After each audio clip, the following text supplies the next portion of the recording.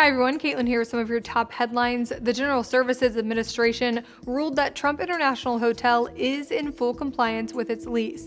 Eric Trump, who has taken over control of the hotel from his father, received a letter Thursday from agency officials stating that because President Donald Trump had removed himself from receiving any money from the hotel during his presidency, there is no conflict of interest. Trump still owns a stake in the business.